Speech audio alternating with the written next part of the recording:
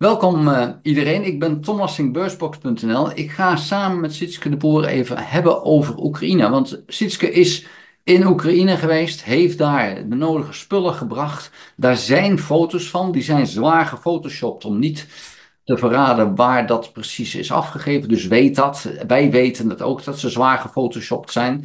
Dus uh, dat hoef je niet te melden. Uh, maar het is wel leuk om te zien dat de nodige soldaten en, en hulpverleners daar de spullen hebben gekregen. Sietske, welkom. Ja, hoi. Leuk dat je er bent. Ik heb uh, van jou gehoord dat je wat foto's hebt. En ja, misschien is het leuk om voordat we de foto's laten zien, dat je even vertelt wat je de afgelopen twee weken gedaan hebt ik zit uh, nog in, in, uh, in Oekraïne op dit moment. Uh, vorige week zijn we naar Kramatorsk geweest. Hebben bij 13 eenheden hebben we spullen afgeleverd. Dus dat was weer een flinke levering um, over twee dagen. En um, ja, je merkt wel dat het een en ander is veranderd sinds ik hier de laatste keer zat. Wij, wij, wij, als we naar Kramatorsk gingen, dan reden we eigenlijk altijd over de Dnipro, want dat is de beste route beste wegen. Uh, halen ook vaak wat spul op in de Nipro. Maar uh, dat, uh, dat, dat gaat niet meer zo goed via, via die route. Want dan kom je toch wel heel dicht in de buurt van Pokrovsk terecht. Dus we zijn via Kharkiv gereden. Via, meer via het noorden. Die wegen zijn wat, wat minder goed. Um, en um, ja, we hadden twee keer dat een stuk van de, van de weg was afgesloten, ook via Kharkiv. En dan, uh, ik was met Juri en Juri begon wel zenuwachtig te worden. Zo van, ja, wat betekent dit dat er, dat er iets is afgesloten? Is er dan ergens een aanval? Uh, dus die werd er zenuwachtig van. Viel allemaal mee, maar gewoon wegafsluitingen. Maar dan merk je wel dat, er, uh, ja, dat de spanning wel wat, wat, wat hoger is dan de vorige keer dat ik hier was, drie, drie maanden geleden. Of twee ik wilde je al vragen van hoe, hoe gevaarlijk is het om dus inderdaad in Oekraïne rond te rijden? Want ja, je zit nu in. Oké, dan weten we iedere nacht is daar uh, drone-aanvallen, is er dus luchtalarm. Maar als je dan helemaal in het oosten rijdt bij Kharkiv en, en daar, hoe groot is de kans dat je daadwerkelijk uh, gevechtshandelingen ziet, vanuit met name de lucht natuurlijk. Nee, dat, dat, dat niet hoor. Maar uh, ja, op een bepaald moment worden die wegen worden dan afgesloten, omdat er ja, te veel druk zeg maar, uh, maar komt. En um, ja, dan, dan kan het gevaarlijk worden. Dus dan is het niet zo dat je meteen en midden in de oorlogshandelingen of zo zit. Ik bedoel, daar, ze, ze, nemen daar wel van tevoren maatregelen. Maar ehm, het is meer dat jury dan bang wordt. Zo van, moeten we nu omrijden omdat er ergens een afsluiting is. Omdat er te veel druk op een, uh, op een uh, bepaalde route komt. Uh, ja, en dat is dan een slecht teken. Dus dat is meer de zenuwachtigheid. Niet dat dat gevaarlijk is. Dat valt wel mee. Wij blijven altijd wel, goed voorzichtig. We, gaan, we zoeken echt het gevaar niet op. Kramatorsk wonen nog echt steeds heel veel mensen. normale leven gaat er nog steeds door. Dus dat, uh, dat valt wel mee. Maar ja, de situatie is wel veranderd. Ja. ja. Nou, ik heb toevallig van Zelensky gehoord dat uh, de, de aanvoer van granaten nu uh, goed geregeld is. Dus ze krijgen nu eindelijk gewoon de goede aanvoer vanuit het westen. Dus dat deel is veranderd. Ze krijgen ook heel veel voertuigen. En, 200 extra voertuigen uit Amerika. Er komen heel veel Humvees. Dus de mhm. aankomende tijd zou het anders moeten worden. Maar ja, ja voordat dat bij het front is, is natuurlijk even de vraag. Maar ik kan me indenken dat ze daar nu uh, toch wat zenuwachtiger worden. Want de Russen hebben, even, zeker in Oost-Oekraïne, behoorlijk wat terrein uh, gewonnen. Ja. Het heeft wel, het is, het is een beetje dubbel. Want aan de ene kant zie je, iedere dag nemen ze weer een, een veld in en daar weer in. Als je gaat kijken over hoe groot is dan het, het deel van, van Oekraïne dat ze dit jaar veroverd hebben, dan praten we over nog niet eens een half procent van Oekraïne. Dus mm qua grondgebied is het relatief weinig. Oekraïne is mhm. groot. Eh, Maar ja, het is wel iedere dag een klein beetje. Dat is nog steeds gaande. En ik heb wel het gevoel dat um, de Oekraïners af en toe wel wat harder terugslaan. Dat je daar toch ja, af en toe toch een tegenaanval ziet die echt wel aankomt bij uh, de mm-hmm. Russen. Maar blijft het feit dat ze gewoon ongelooflijk veel materieel nog steeds hebben. Ja. Um, en het is, het is nog steeds een oorlog waarbij ze alle twee er vol voor gaan. En de eerste die echt klem komt te zitten, ja, die verliest de oorlog. En uh, ook, ook Rusland loopt de kans dat ze gewoon op een gegeven moment niks meer hebben. Want daar hoorde ik van dat ze dus toch wel behoorlijk in de problemen komen. Met name mortiergranaten hebben de Russen Mhm. bijna niet meer. Nou ja, dan is de vraag: is dat echt zo of lijkt dat alleen maar zo? Maar dat kan wel een consequentie uh, hebben als het inderdaad zo is. Want ja, dan worden bepaalde zaken voor de Russen wat moeilijker. En dat is dan makkelijker Mhm. voor Oekraïne. Maar ja, het blijft allemaal een beetje mistig.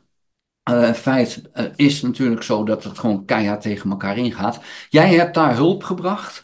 Nou, twee Mhm. dagen heb je erover gedaan, 13 eenheden. Daar heb je wat foto's van. Kan je er iets over vertellen? Ja.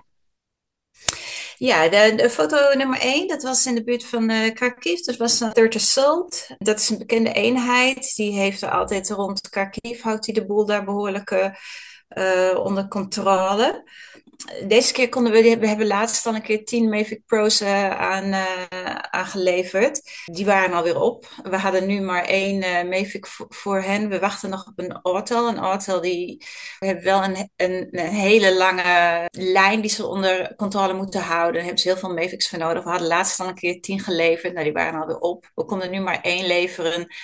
Wachten nog op een Autel. Uh, die zijn beter, die, zijn beter uh, bestendig tegen jamming. Dus we hopen dat die er snel komen. Dan gaan we die ook nog leveren. Uh, nou, diezelfde avond hadden we een levering bij Sloviansk in de buurt. Daar gaven we 56 thermische pakken hebben we daar aangegeven. Die, die pakken beschermen de strijders tegen uh, het, dat ze niet ontdekt kunnen worden door de thermische drones van de tegenstander. Dus zorgen ervoor dat je geen warmteafgifte hebt, uh, waardoor je s'nachts kunt opereren zonder uh, gezien te worden. Dus erin gemaakt, die pakken, en die voldoen heel goed. Dus heel veel eenheden komen bij ons om te vragen of ze van die pakken van ons mogen hebben. En die geven we graag, omdat ze niet heel duur zijn en je echt het leven van een soldaat ermee kunt beschermen. Um, foto nummer drie hadden we uh, FPV's gegeven, 10 FPV's en een thermische drone, een thermische Mavic, een nachtdrone. Um, foto nummer vier hadden we een ontmoeting met de, een TDF-brigade. Uh, dat zijn dus vrijwilligers. Dat zijn de, de oude brigades die hun eigen gebied dan onder controle hielden, maar die worden nu vaak uh, aan, aan de frontlinie ingezet. Nou, even een gesprek gehad met een van die soldaten. Ja, was een kalkoenboer eigenlijk, uit de, ja, uit de buurt van Kiev. En nou ja, gevraagd van uh, hoe vind je dat dan nu om soldaat te zijn? Nou, hij is liever boer, zegt hij. Maar goed, ze voelen allemaal de plicht wel. Dus hij is nu een drone pilot. En uh, we hadden hun uh, spul gegeven, EcoFlow Starlings nachtkijkers. Uh, dat zijn, um, ja, zijn belangrijk, kunnen ze dus s'nachts mee opereren. Maar hij was, de jongen waar ik dus mee aan het praten was, die, was, die zei van ja, eigenlijk hebben we een matri mat matrice nodig om um, een antenne op te plaatsen, zodat ze verder kunnen vliegen met de FPV-drones. Nou, die stond niet bij hun op de lijst. Dus dan kun je zien, hè, zo van ja, wat kiezen ze voor de lijst die ze bij ons inleveren? Wat is het belangrijkste? En hij had liever een matrice gehad. En uh, zijn, uh, zijn commandant die had liever die nachtkijkers, die heeft daarvoor gekozen. Ja, hebben we dus net 9000 euro aangeleverd. Ja, matrice is 4000 euro. Dus dan heb je weer zo'n afweging van ga je dat er dan ook nog bij doen? Ja, dat zijn van die beslissingen. Dus ik heb gezegd, nou, ik onthoud het. Wij, doen nooit, wij maken nooit beloftes, want uh, je moet eerst zien wat je kunt leveren. We willen niet valse beloftes maken. Dus uh, ja, we hebben opgeschreven en dan gaan we zien of we nog een keer kunnen helpen. Ja. Dus ja, dat ja, was... Uh, is natuurlijk niet eindig, hè? want jullie zijn afhankelijk van uh, de. ja, de je probeert het wat te eh, verdelen. Hè? Dit zijn al pakketten en dat zit allemaal tussen de 5 en de 10.000 euro, soms op het boven. Uh, maar jij probeert het wat te verdelen en wat redelijk uh, iedereen te helpen. Ja, in de, uh, de beschrijving van deze video zal ik ook een link zetten naar jullie rekening. Zodat als kijkers zeggen van ja, ik wil graag ook wat bijdragen. Alles helpt. Dus uh, Ja, dan kan dat zeker. op die rekening. Zeker. Leuk om te zeggen, denk ik, van hè, deze podcast die we nu doen. eh, Mensen hebben ook echt gedoneerd. Ik denk dat het al met elkaar zeker een, eh, een Mavic heeft opgeleverd. Een Ah. thermische Mavic van meer dan 3000. Dus ja, uh, daar kunnen jullie ook trots op zijn. Dat nou zeg maar dat een van deze Mavics die wij nu laten zien, dat die door de, door de kijkers van, van deze podcast is geleverd. Dus dat ah, is heel leuk. mooi. Ja. ja. Foto nummer vijf. Um, ja, Starlings uh, worden heel veel gevraagd. Het is niet mijn favoriet om te geven. Want nou ja, we spekken Elon Musk mee die wat een ja. dubieuze rol uh, inneemt. Maar goed, iedereen heeft het nodig. Um, het is ook veel gedoe omdat er accounts voor moeten aangemaakt moeten worden. Soms leveren we tweedehands en dan moeten die accounts via ons lopen. Ik laatst bijvoorbeeld een geval dat ja, was een, een uh, was, uh, soldaten waren in de positie, waren uh, over, overlopen door, overgelopen door, um, door Russen. Die hadden een positie ingenomen. En die hadden, ja, moesten ze dus een positie verlaten. En, en hun Starlink was daar nog. En dan ja, moest ik hun account dus, dus opzeggen. Ja, en dan dat komt pas zeg maar hè, als het abonnement afloopt. Uh, dus dat is een, uh, drie weken later. En uh, ja, dan weten ze dat ondertussen die Russen van die, Mavic, van die Starlink gebruik kunnen maken. Zodat ze zeg maar tegen hun gebruik kunnen worden. Dus dat is een heel vervelend spel. En op zo'n moment kom je, ben je daar wel heel erg ja, direct bij betrokken. Dus Starlinks, ik ben er niet zo, niet zo gek op. Maar goed, het, het hoort erbij. Deze eenheid was heel erg, had heel, heel veel geluk, want ze we zouden alleen een Mavic 3T leveren, eh, zo'n zo'n thermische Mavic. Uh, maar we hadden toevallig een jammer e-, meer dan dat we hadden gedacht. Er was eentje extra eerder opgeleverd. Ze, deze unity vecht in de, in de, in, in de um, omge in de omgeving van Kursk. En um, ja, er zijn ook heel veel FPV-drones, dus we hebben besloten om hen die, die, uh, het jammer te geven. En de volgende dag hebben we ook nog uh, 32 thermische uh, pakken aan hun gegeven. Dus uh, die, hadden, uh, die kregen veel meer dan dat ze hadden verwacht. foto nummer 7. Uh, de 81ste brigade was dat. Uh, ja, die werkt daar echt in de buurt van Sessifjaar, uh, Liman, die, die, die omstreken. die waren, hadden we laatst ook een behoorlijke levering aan gedaan, maar die, nou, die waren ja, stevig onderhanden genomen, zeg maar. Heel veel spul waar ze kwijt geraakt. Was ook een, um, een stabilization point van hun was geraakt. dokters dood veel spul kwijtgeraakt. En um, ja, dus ze hadden echt uh, nieuw spul nodig. En um, ze hadden niet op ons gerekend, maar we hadden een dag van tevoren hadden we gebeld. We bellen meestal pas een dag voordat we de levering doen. En uh, nou, ze waren echt super blij om te horen dat we, dat we zouden komen. En er uh, was een vrouwelijke soldaat bij. Nou, ik kreeg een heel verhaal in het Oekraïens te, horen. Maar ze was echt zo super dankbaar voor, voor het spul wat we leverden. Dus dan kunnen ze er weer, uh, weer even tegenaan. Ja, uh, dus dat, dit waren, uh, dat was nummer 7. Dan hebben we nummer 8. Ehm, nummer 8, dat, ja, nou, is nog een levering. Ja, daar heb ik verder niks bij te vertellen. Ehm, dus dat waren wat verhalen om de leveringen heen, wat je zo al hoort.